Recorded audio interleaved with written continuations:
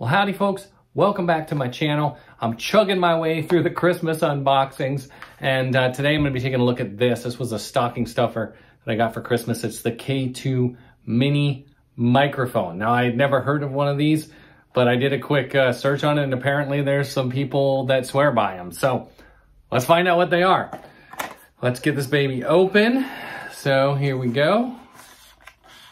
Oh, okay. It comes with a lot more than I thought it was going to. Here, see if you can see here. We've got our mini microphone here and it's got a cable pre-attached. So here's the microphone. And then on this end, it's got a TRS cable, but it also has a, uh, a jack end. So apparently you can extend it. If it's not long enough, you can put another TRS cable in here and, you know, make it longer. But anyway, it's a teeny tiny little microphone. It looks like it sort of resembles a, uh, like a Shure SM58 or something. But uh, anyway, there it is. And uh, let's see what else is in the package here. So it's got a little pop filter here. I don't know if you can see that, but it's got a little bitty uh, pop filter that you can put on it, you know, for wind or just to avoid the little pat, pat, pat kind of things that you get. It's also got here a microphone clip. So it's got a little bitty microphone clip. Look at that. And let's see if it fits. Of course, I'm assuming it does, but let's go ahead and see. Yep, there you go. So it's got a little microphone clip. Now on the bottom of this clip, there's just a little ball like that. It doesn't have like a standard threaded end. So I think that's what this other piece is in here. So you can see it's got the little socket end. You can pop that in there. And then this, oh, look at that. It's got a little stand with it. So apparently you can put it flat like that, or you can kind of do some other things with it. It helps you get it in some different angles. So this is actually pretty impressive. I mean, honestly, um, let's go ahead and plug it in and see what it sounds like. Okay, so I've taken the microphone here and plugged it directly into the camera. So what you're hearing right now is the microphone amplifying my voice. And if I get it a little further from my mouth like that, hopefully you can hear a sound difference. And then if I come closer, it should get louder all the way up to like this.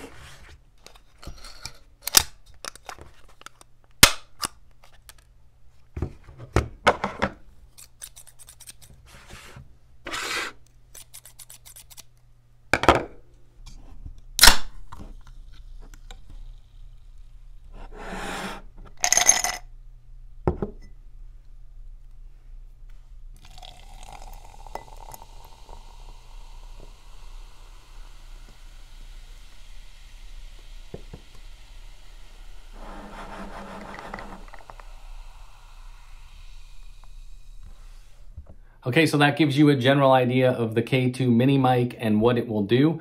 It's actually, um, I was kind of surprised, it's quite gainy.